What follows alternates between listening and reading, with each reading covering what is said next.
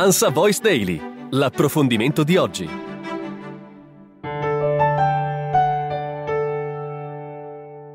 Buongiorno e ben ritrovati al nostro appuntamento con l'approfondimento.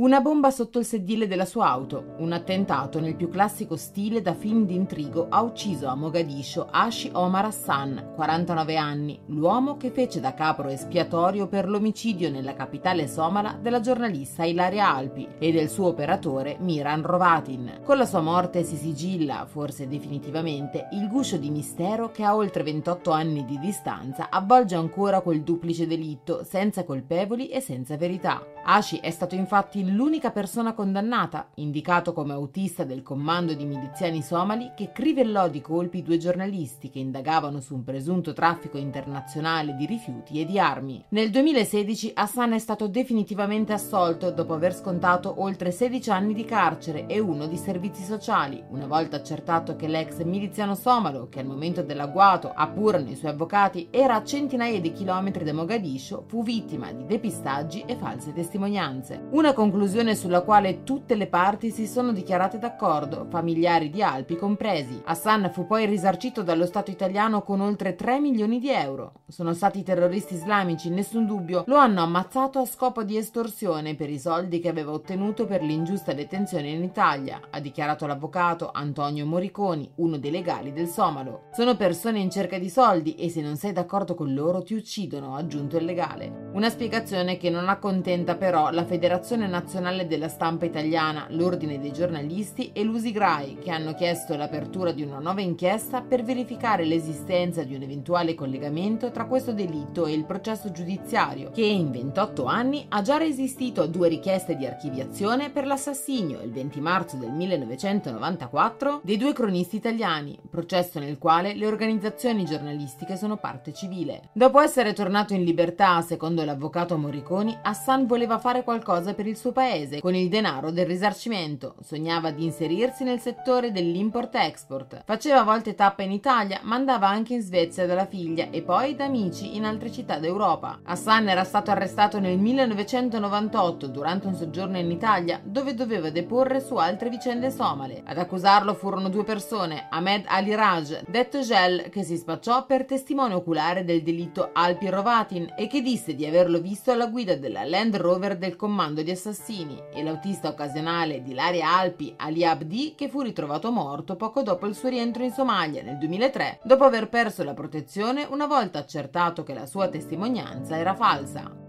Quanto a Gel ha successivamente ritrattato tutto, affermando di essere stato pagato in una deposizione resa per rogatoria acquisita dalla Corte d'Appello di Perugia per la revisione del processo. Caduta l'ultima testimonianza, la vicenda di Hassan fu risolta con il processo di revisione presso la Corte d'Appello perugina, che mise fine al calvario iniziato con l'assoluzione in primo grado presso la Corte di Assise di Roma nel 1999 per non aver commesso il fatto. La soluzione Fu ribaltata in appello a sorpresa nel 2000 con l'ergastolo per concorso in omicidio, confermato nel 2001 dalla Cassazione, che però mitigò la condanna a 26 anni. Non ci accontentiamo di questa verità, vogliamo i mandanti veri, dissero per l'occasione i genitori di Ilaria. I mandanti veri che il 20 marzo di 28 anni fa misero a tacere Ilaria e Miran resteranno probabilmente ignoti. Alpi e Rovatin si trovavano in Somalia dal 1992 per seguire la missione internazionale Restore Hope. L'agguato avvenne al loro rientro nella capitale poche ore dopo aver realizzato un'intervista al sultano di Bosaso nel nord del paese, Abdullahi Musa Bogor, in cui seppero di fatti e attività scottanti, fatti e attività, dirà poi l'inchiesta, connessi con traffici illeciti di vasto ambito.